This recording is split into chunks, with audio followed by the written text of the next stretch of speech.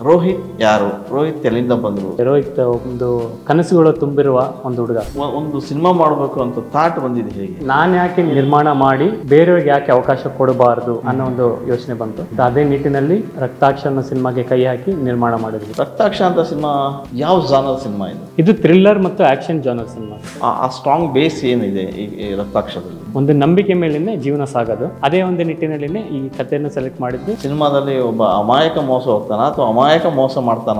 ಪ್ರತಿ ಮೋಸಕ್ಕೂ ಬೇಸ್ ಏನೋ ನಂಬಿಕೆ ಅಲ್ವಾ? ಸೊ ಆ ಒಂದು ನಿಟ್ಟಿನಲ್ಲಿ ಸ್ಟೋರಿ ಸ್ಟಾರ್ಟ್ ಆಗುತ್ತೆ. ಈ ಕಡೆ ಪ್ರೊಡಕ್ಷನ್ ನೋಡ್ತಾ ಇದೀರಾ ಈ ಕಡೆ ಆಕ್ಟಿಂಗ್ ಮಾಡ್ತಾ ಇದೀರಾ ಇದು ರಿಸ್ಕ್ ಅನ್ಸ್ಲಿಲ್ವಾ ಏನಾದ್ರೂ ಏನಾದರೂ ಒಂದು ಸಾಧನೆ ಮಾಡ್ಬೇಕಂದ್ರೆ ರಿಸ್ಕ್ ಇಲ್ಲದೆ ಆಗದೇ ಇಲ್ಲ. ಕನ್ನಡ ಸಿನಿಮಾ ರಂಗದಲ್ಲಿ ಎಲ್ಲ ಕ್ಷೇತ್ರದಿಂದ ಒಂದಷ್ಟು ಜನ ಇಲ್ಲಿ ಬರ್ತಾರೆ. ಒಂದಿಷ್ಟು ಜನಗಳು ಜಾಗ ಮಾಡ್ಕೊಳ್ತಾರೆ ಇನ್ನೊಂದು ಜನ ಆ, ಜಾಗ ಮಾಡಿಕೊಂಡು ಸಾಧನೆ ಮಾಡ್ತಾರೆ.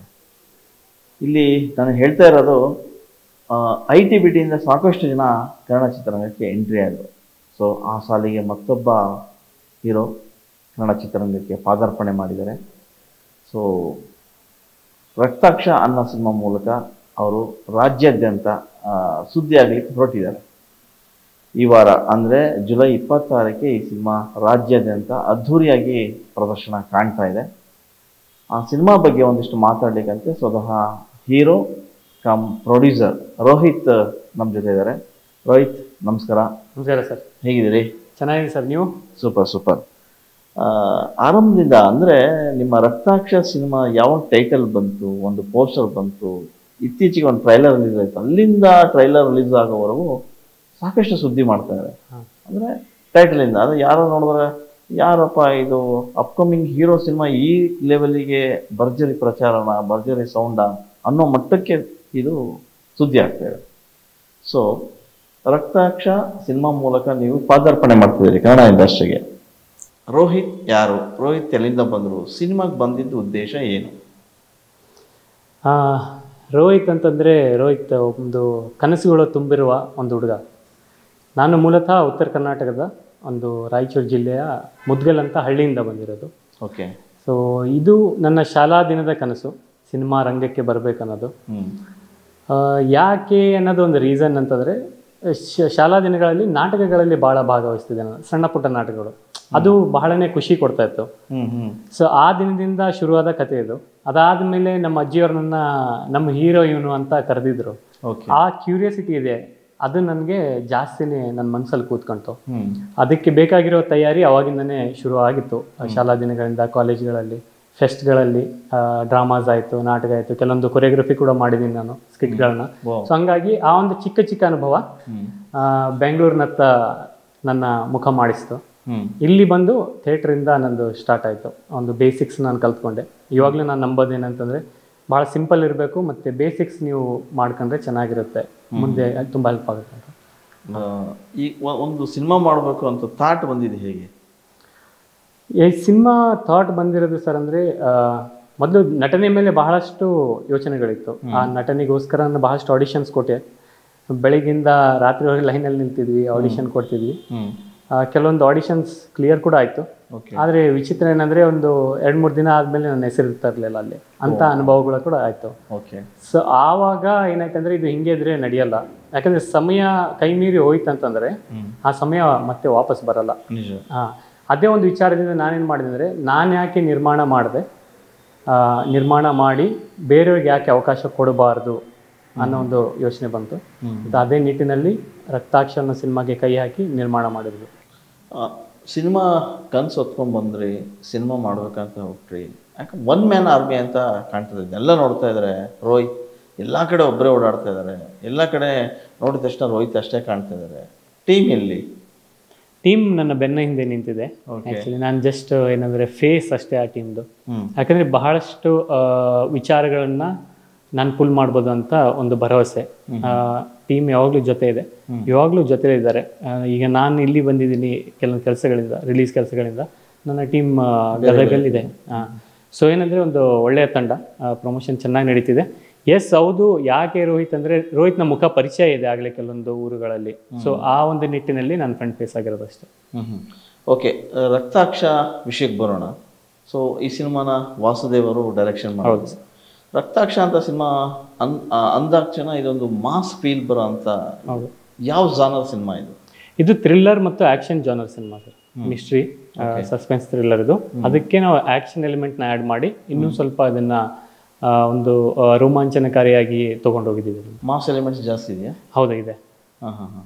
ನೀವು ಫಸ್ಟ್ ಟೈಮ್ ಈ ಕತೆ ಹೇಳಿದಾಗ ಅಂದರೆ ವಾಸುದೇವ ಅವರ ನಿಮಗೆ ಲೈನ್ ಹೇಳಿದಾಗ ನಿಮಗೆ ಥಾಟ್ ಹೆಂಗೆ ಅನಿಸ್ತು? ಏನು ಮಾಡಬೇಕು ಅನಿಸ್ತು? ಅಲ್ಲಿಂದ ಈ ಸಿನಿಮಾ ಆಗುತ್ತೆ ಅಂತ ಅನಿಸ್ತಾ? ಹಾ.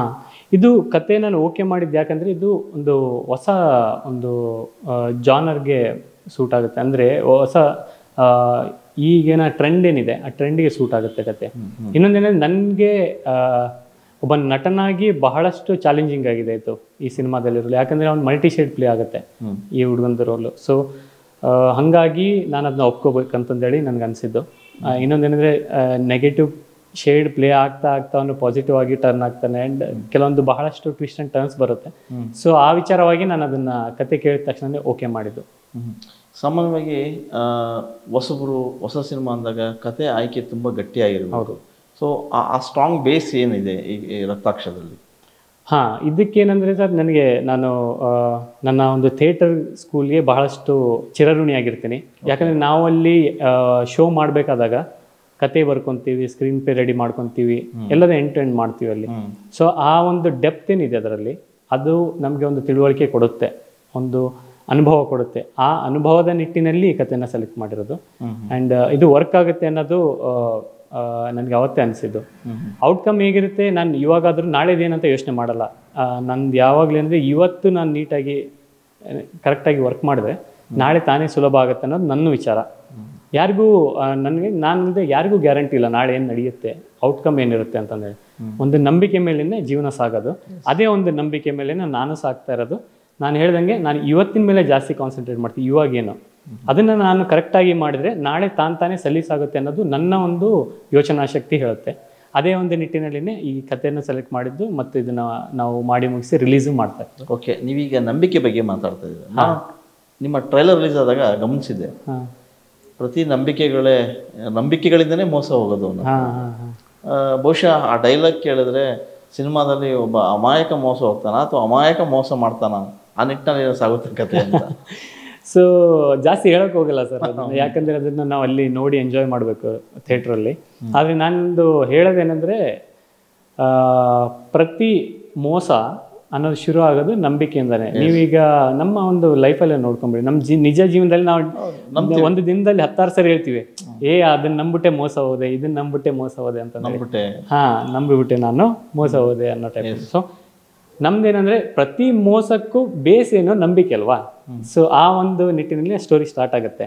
ಬಟ್ ಅಲ್ಲಿ ಯಾರು ಯಾರಿಗೆ ಮೋಸ ಮಾಡಿದ್ದಾರೆ ಎಷ್ಟು ಯಾರು ಮೋಸ ಹೋಗಿದ್ದಾರೆ ಆ ಯಾರು ಅಮಾಯಕರು ಯಾರು ಅದರಲ್ಲಿ ದುಷ್ಟರು ಅನ್ನೋದು ಆ ಸಿನಿಮಾ ನೋಡಿದ್ಮೇಲೆನೆ ನಮ್ಗೆ ಅನುಭವ ಆಗೋದು ಹೇಳೋದು ನಂಬಿಕೆ ಕೆಟ್ಟವರಿಲ್ಲವೋ ಮಾನವ? ಅಣ್ಣವರೇ ಹೇಳಿದ್ದಾರೆ. ಹೌದು ಹೌದು ಆ- ರೀತಿಯ ಕತೆ ಜನ. ಓಕೆ ಈ ಪಾತ್ರದ ಆಯ್ಕೆ ಅಂದ್ರೆ ನಿಮ್ಮ ಪೋಸ್ಟರ್ ನೋಡ್ತಾ ಇದ್ರೆ ಎಲ್ಲ ಗಂಭೀರತೆ ಗಂಭೀರ ಸ್ವರೂಪದ ಕತೆ ಅನ್ಸುತ್ತೆ. ಹೌದು. ಆಮೇಲೆ ಎಲ್ಲ ಕೂಡ ಪಾತ್ರಗಳು ವಿಶೇಷ ಅನ್ಸುತ್ತೆ. ಪ್ರಮೋದ್ ಶೆಟ್ಟಿ ಇದ್ದಾರೆ. ಅರ್ಚನಾ ಕೊಟ್ಟಿಗೆ ಇದ್ದಾರೆ. ನಾಗರಾಜ್ ಅವರಿದ್ದಾರೆ ರೂಪಾ ರಾಯಪ್ಪ ಅವರಿದ್ದಾರೆ ಒಂದಿಷ್ಟು ಪಾತ್ರಗಳು. ಸೊ ಕೆಲವೇ ಕೆಲವು ಬೆರಳೆಣಿಕೆ ಪಾತ್ರಗಳಿದ್ರೂ ಕೂಡ ಇಡೀ ಸಿನಿಮಾನ ಪ್ರತಿನಿಧಿಸ್ತವೆ ಅನ್ಸುತ್ತೆ ಬಹುಶಃ. ಹೌದು ಇದರಲ್ಲಿ ಬರುವ ಪ್ರತಿಯೊಂದು ಪೋಸ್ಟಲ್ಲಿ ಏನು ಫೇಸಸ್ ಕಾಣ್ತಾ ಇದೀವಿ ನೋಡ್ತಾ ಇದೀವಿ ನಾವು ಮುಖಗಳನ್ನ. ಎಲ್ಲದೂ ಒಂದು ಗಟ್ಟಿ ಪಾತ್ರಗಳೇ. ಮತ್ತು ಆ ಪಾತ್ರ ಅದು ಒಂದೇ ಪಾತ್ರ ಅಲ್ಲ ಅವು ಮಲ್ಟಿ ಸೈಡಲ್ಲಿ ಪ್ಲೇ ಆಗುತ್ತೆ ಪ್ರತಿಯೊಂದು ಪಾತ್ರವು. ಅದಕ್ಕೆ ಅವು ಬಹುಮುಖ್ಯ ಪಾತ್ರ ಇವೆಲ್ಲವು. ಮತ್ತೆ ಇನ್ನೊಂದು ಏನಂತಂದ್ರೆ ನೀವು ಹೇಳಿದ್ರಿ ಕತೆ ಕತೆಗಳು ಕೆಲವೇ ಪಾತ್ರಗಳು ಬಟ್ ಇಂಪಾರ್ಟೆಂಟ್ ಪಾತ್ರಗಳು. ಸೊ ಅದೇ ನಮ್ಮ ಒಂದು ಕಥೆಯ ಕಥೆನ ಹಿಡಿದಿಟ್ಕೊಳ್ಳುತ್ತೆ ನಾನು ಹೇಳ್ದಂಗೆ ಎಲ್ಲರೂ ಒಂದು ಈಗ ಹೆಸರು ಹೇಳಿದ್ರಲ್ಲ ಎಲ್ಲರೂ ಒಳ್ಳೆ ಪರ್ಫಾರ್ಮರ್ಸ್ ಇವರೆಲ್ಲರೂ. ಹೌದು. ಸೊ ಅವರ ಒಂದು ನಟನಾ ಶೈಲಿಗೆ ಅದಕ್ಕೂ ಕೂಡ ಚಾಲೆಂಜ್ ಮಾಡೋ ರೋಲ್ಸ್ ಅವರಿಗೆ ಅವ್ರು ಮಾಡಿದ್ದಾರೆ ಇದರಲ್ಲಿ. ಎಲ್ಲರದ್ದು ಒಂದು ಡಿಫ್ರೆಂಟ್ ಶೇಡ್ಸ್ನ ನೀವು ನೋಡ್ತೀರಾ ಈ ಸಿನಿಮಾದಲ್ಲಿ ಓಕೆ ಈ ಸಿನಿಮಾಗೆ ಎಷ್ಟು ದಿನ ಶೂಟ್ ಮಾಡಿದ್ರಿ? ಎಲ್ಲೆಲ್ಲಿ ಶೂಟ್ ಮಾಡಿದ್ರಿ. ನಾವು ಈ ಸಿನಿಮಾಗೆ ನಲವತ್ತೈದರಿಂದ ಐವತ್ತು ದಿನದ ಶೂಟ್ ಇರಬೇಕು. ಜಾಸ್ತಿ ನಾವೇನು ಮಾಡಿದೀವಿ ಅಂದರೆ ಕಥೆಯ ಗಂಭೀರತೆ ಏನಿತ್ತು ನಮಗೆ ಅದ್ರ ಮೇಲೆ ನಾವು ಬಹಳಷ್ಟು ಸ್ಟ್ರೆಚ್ ಆಗಿ ಶೂಟ್ ಮಾಡಿದ್ವಿ. ಅಂದರೆ ನಮ್ದು ಒಂದೇ call sheet day call sheet ಅಂತ ಏನು ಬರುತ್ತೆ. ಹಂಗೇನೂ ಆಗಿಲ್ಲ. ನಮ್ದು ಯಾವಾಗಲೂ one and half to continue shoot ಮಾಡ್ತಾ ಇದ್ವಿ. ಯಾಕಂದ್ರೆ ಆ ಪೋರ್ಷನ್ ಆ ಒಂದು ಪ್ರಮುಖ ಭಾಗವನ್ನು ಮುಗಿಸದೆ ಶೂಟ್ನ ನಿಲ್ಲಿಸೋಕೆ ಮನಸ್ಸು ಹೋಗ್ತಾ ಇರಲಿಲ್ಲ. ಮತ್ತು ನಾನು ಹೇಳ್ದಂಗೆ ನೀವು ಒಂದನ್ನು ಪಾಯಿಂಟ್ ಔಟ್ ಮಾಡಿದ್ರಿ. ಎಲ್ಲ ಗಂಭೀರ ಫೇಸ್ಗಳೇ ಕಾಣ್ತಾ ಇದೆ.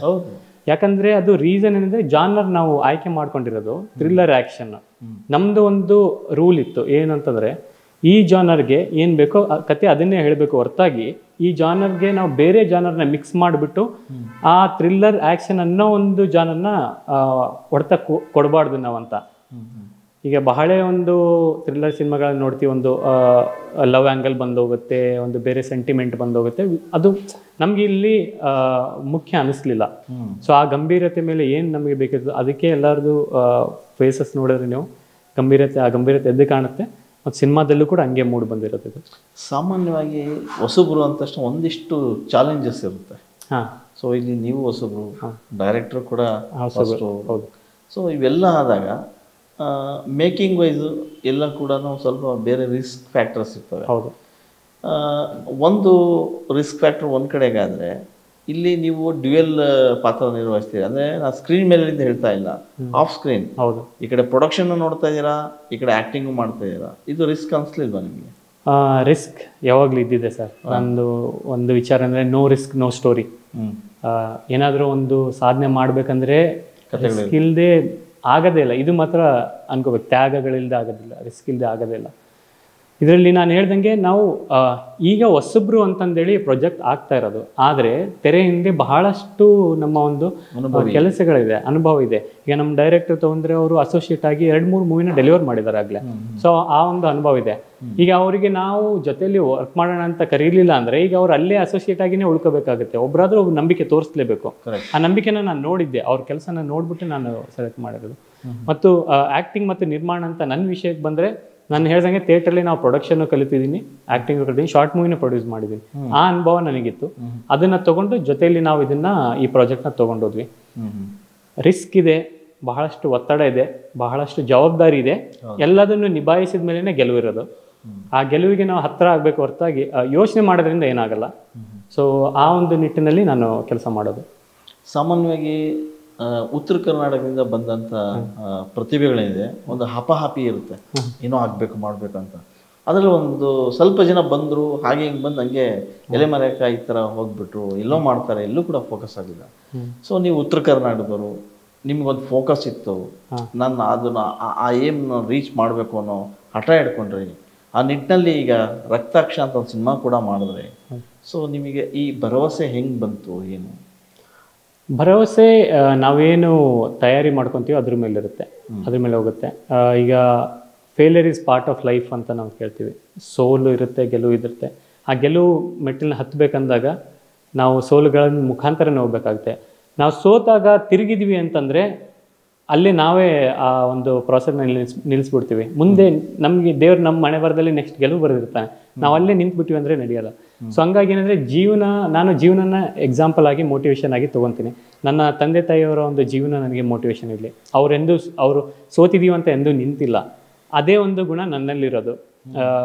ನಾನು ಹೇಳ್ದಂಗೆ ನಾನೊಬ್ಬ ಒಂದು ಕನ್ನಡ ಇಂಡಸ್ಟ್ರಿಗೆ ಒಂದು ಒಳ್ಳೆಯ ಒಂದು ನಟನಾಗಬೇಕಂತಲೇ ನಾನು ಬಂದಿದ್ದೀನಿ. ಒಂದು ಹೆಮ್ಮಾರ ನಮ್ಮ ಇಂಡಸ್ಟ್ರಿ ಅದಕ್ಕೆ ಒಂದು ಹಸಿರು ಚಿಕ್ಕ ಎಲೆ ಆಗಿ ನನ್ನ ಒಂದು ಕಂಟ್ರಿಬ್ಯೂಷನ್ ಕೊಟ್ಟೆ ಅಂದರೆ ಕೂಡ ಸಾಕು. ನನ್ನ ಜೀವನ ಸಾರ್ಥಕ ಅಂತ ನಾನು ಹೇಳಿದ್ದೀನಿ. ನಾನು ಅದೇ ನಿಟ್ಟಿನಲ್ಲಿ ಕೆಲಸ ಮಾಡೋದು. ಮತ್ತು ನನಗೆ ಸೋಲು ಗೆಲುವು ನನಗೆ ಕಾಮನ್ ಇವತ್ತು ಗೆದ್ದರೆ ನಾನು ಜಾಸ್ತಿ ಖುಷಿ ಪಡಲ್ಲ ಸೋತ್ರೆ ನಾನು ಜಾಸ್ತಿ ಆಡಲ್ಲ ಯಾಕಂದರೆ ಲೈಫ್ ಅನ್ನೋದು ನನಗೆ ಬಹಳ ಚಿಕ್ಕಂದಿನ ಬಹಳಷ್ಟು ಪಾಠಗಳನ್ನು ಕಲಿಸ್ಬಿಟ್ಟಿದೆ ಆಗಲೇ. ಸೊ ಅದಕ್ಕಿಂತ ದೊಡ್ಡ ಅನುಭವ ಅದು ಅದಕ್ಕಿಂತ ದೊಡ್ಡ ಒಂದು ಚಾಲೆಂಜ್ ನನಗೇನೂ ಇರಲಿಲ್ಲ. ಇವಾಗೆಲ್ಲ ಬರೀ ಪ್ರಯತ್ನ ಮತ್ತು ಒಂದು ಒಂದು ಹಾರ್ಡ್ ವರ್ಕ್ ಒಂದು ತಂಡದ ಹಾರ್ಡ್ ವರ್ಕ್ ಅಷ್ಟೇ. ಸಾಮಾನ್ಯವಾಗಿ ಸಿನಿಮಾ ಅಂತ ತಕ್ಷಣ ಮನೆಯವರು ಇಲ್ಲ ಯಾವುದೇ ಮನೆಯವರಾಗಲಿ. ಸಿನಿಮಾ ಅನ್ಸ್ರೆ ಬೇಡ ಬೇಡ ಬೇಡ. ಸಿನಿಮಾ ಅಯ್ಯೋ ಆ ಸವಾಸ ಬೇಡ ಅಂತಾರೆ. ಬಟ್ ರೋಹಿತ್ ಸದ್ಯದಲ್ಲೇ ಸಿನಿಮಾ ಮಾಡ್ತಾರೆ. ಯಾರಿಗೂ ಗೊತ್ತಾಗಲ್ಲ ಮನೆಯಲ್ಲಿ. ಏನೋ ಮಾಡ್ತಾ ಇರ್ತಾರೆ ಅಂದರೆ ನಿಮ್ಮ ಕಷ್ಟ. ನೀವು ಈ ಕಡೆ ನೈಟ್ ಆ್ಯಂಡ್ ಡೇ ವರ್ಕ್ ಮಾಡ್ತೀರಾ? ಈ ಕಡೆ ಅಭಿನಯಕ್ಕೆ ಹೋಗ್ತೀರಾ? ಅಲ್ಲಿ ಕಲಿತೀರಾ? ಸಿನಿಮಾ ಪಟ್ಟುಗಳನ್ನೆಲ್ಲ ನೀವು ಕಲಿತಾ ಕಲಿತಾ ಕಲಿತಾ ಒಂದು ಸಿನಿಮಾ ಮಾಡ್ತೀರಾ? ಸೊ ಇವೆಲ್ಲ ಏನು ಮಾಡ್ತಾ ಇದ್ರಿ? ಈ ಈ ನಿಮ್ಮ ಆ್ಯಕ್ಟಿಂಗ್ ಬಗ್ಗೆ ಸಿನಿಮಾ ಮಾಡ್ತಿರೋ ಬಗ್ಗೆ ಮನೇಲಿ ಕೂಡ ಗೊತ್ತಿರಲಿಲ್ಲ. ಗೊತ್ತಾದಾಗ ಏನಂದ್ರು? ಅದು ಒಂದು ಅವ್ರಿಗೆ ಅವ್ರು ಶಾರ್ಟ್ ಮೂವಿ ಅಂದ್ಕೊಂಡಿದ್ರು ನಾನು ಯಾವಾಗ ಸಿನಿಮಾ ಅಂತ ಹೇಳಿದಾಗ. ಯಾಕಂದರೆ ನಂದು ಒಂದೇನಂದರೆ ಸ್ವಲ್ಪ ಮನೇಲಿ ಭಯ ಆಗ್ಬಿಡುತ್ತೆ. ಅದು ಈಗ ನಾವು ಕೆಳ ಮಧ್ಯಮ ವರ್ಗದ ಮನೆಗೆ ಸೇರಿದಾಗ ಆ ಒಂದು ಭಯ ಅವ್ರಿಗೆ ಯಾಕಂದ್ರೆ ಅದು ಭಯ ಅನ್ನೋದಕ್ಕಿಂತ ತಂದೆ ತಾಯಿಯವ್ರ ಪ್ರೀತಿ ಅದು ಸರ್. ಫ್ಯೂಚರ್ ಹಾ ಇನ್ನೇನೋ ಮಾಡ್ಕೊಂಡ್ಬಿಡ್ತಾನೆ ಈ ನಿಟ್ಟಿನಲ್ಲಿ ಅಂತಂದೇಳಿ. ಸೊ ಅದಕ್ಕೆ ನಾನೇನ್ ಮಾಡಿದೆ ಅಂತಂದ್ರೆ ನಾನು ಹೇಳಿರ್ಲಿಲ್ಲ ಅವ್ರಿಗೆ. ತಯಾರಿ ನಡೆಸಿದ್ ಗೊತ್ತಿತ್ತು. ಮಾಡ್ಲಿಂಗ್ ಮಾಡ್ತಾ ಇದ್ದಿದ್ದು ಗೊತ್ತಿತ್ತು. ಆ್ಯಡ್ಸ್ ಮಾಡ್ತಾ ಇರೋದು ಗೊತ್ತಿತ್ತು. ಥಿಯೇಟ್ರಿಗೆ ಹೋಗ್ತಾ ಇರೋದು ಅವ್ರಿಗೆ ಗೊತ್ತಿತ್ತು. ಆದರೆ ಸಿನಿಮಾ ಮಾಡ್ತಿದ್ದಾನೆ ಅಂತ ಅವರಿಗೆ ಅಷ್ಟೊಂದು ನಂಬಿಕೆ ಇರಲಿಲ್ಲ. ಯಾಕಂದ್ರೆ ನಾನು ಹೇಳ್ದಂಗೆ ನಾನು ಹೇಳೋಕೆ ಹೋಗಿರ್ಲಿಲ್ಲ ಯಾಕಂದ್ರೆ ಅವ್ರಿಗೆ ಒಂದು ಭಯ ಭಯ ಹುಟ್ಟಿಸಿದ್ರೆ ನನಗೆ ಕಾನ್ಸಂಟ್ರೇಟ್ ಮಾಡೋಕ್ಕಾಗಲ್ಲ. ಆಗಲ್ಲ ಅದಕ್ಕೆ ಸಿನಿಮಾ ರೆಡಿ ಆದ ತಕ್ಷಣನೇ ಹೇಳಿದೆ. ತುಂಬಾನೇ ಖುಷಿ ಪಟ್ರು. ಯಾಕಂದ್ರೆ ಒಂದು ಅವರಿಗೂ ಕೂಡ ಏನಂದ್ರೆ ಒಂದು ನನ್ನ ಮಗ ಸರಿಯಾದ ನಿಟ್ಟಿನಲ್ಲಿ ಹೋಗ್ತಿದ್ದಾನೆ ಹೋಗ್ತಾ ಇದ್ದಾನೆ. ಮತ್ತೆ ನಮ್ಮ ತಂದೆ ತಾಯಿದ ಒಂದು ವಿಶೇಷತೆ ಏನಂದ್ರೆ ಅವ್ರು ಯಾವಾಗ್ಲೂ ನಮ್ಗೆ ತಡೆದಿಲ್ಲ ಯಾವುದೇ ವಿಚಾರದಲ್ಲಿ. ನಮ್ ಏನ್ ಕನಸುಗಳಿದೆ ಅದಕ್ಕೆ ಯಾವಾಗ್ಲೂ ಅವ್ರ ಜೊತೆಗೆ ನಿಂತಿದ್ದಾರೆ. ತಾವು ಸಾಕಷ್ಟು ತ್ಯಾಗಗಳನ್ನು ಮಾಡಿದ್ದಾರೆ. ನಮ್ಮ ಕನಸುಗಳಿಗೆ ಯಾವಾಗ್ಲೂ ತಡೆ ಆಗಿಲ್ಲ. ಇವಾಗಾದ್ರೂ ಅವರೇ ನನ್ನ ಸ್ಟ್ರೆಂತ್ ಇವತ್ತಾದ್ರೂ ಅವರು ನನಗೆ ಹೇಳ್ತಾ ಇದ್ರು ಇಪ್ಪತ್ತಾರಕ್ಕೆ ಏನಾಗುತ್ತೆ ಅನ್ನೋದು ತಲೆಯಿಂದ ತೆಗೆದ್ಬಿಡು. ಭಾಳ ಟೆನ್ಸ್ ಆಗಿದೆ ಎಸ್ ಇದು ಬೇಕು? ಇನ್ನು ಮಾತಾಡ್ಬೇಕಾದ್ರೆ ಎರಡ್ ಮೂರು ದಿನದಿಂದ ಬಹಳ ಟೆನ್ಸ್ ಆಗಿದೆ ನಾನು. ಅವ್ರು ಹೇಳಿದ್ರು ಇಪ್ಪತ್ತಾರಕ್ಕೆ ಏನಾಗುತ್ತೆ ಬಿಡುತ್ತೆ ನಿನ್ ತಲೆಯಿಂದ ತೆಗೆದ್ಬಿಡು. ನೀನ್ ನಿನ್ ಕೆಲಸ ಮಾಡಿದ್ಯಾ? ಬಾಕಿ ಪ್ರೇಕ್ಷಕರು ನಿನ್ಗೆ ಮಾಡ್ತಾ ಇದು ಸಪೋರ್ಟ್ ಮಾಡ್ತಾರೆ. ಫಸ್ಟ್ ರಿವ್ಯೂ ಅಲ್ಲಿಂದ ಸಿಕ್ಕಿದೆ ಸೊ ನೀನು ಏನೇ ಆದ್ರೂ ನಾವಿದೀವಿ ಜೊತೆಲಿ ಭಯ ಪಟ್ಕೋಬೇಡ ಅಂತ ಒಂದೇ ಒಂದು ಮಾತು ಹೇಳಿದ್ರು. ಆವಾಗ ನನ್ಗೆ ಅಳಬೇಕು ಏನ್ ಮಾಡ್ಬೇಕು ಅನ್ನೋದು ಗೊತ್ತಾಗ್ತಿಲ್ಲ.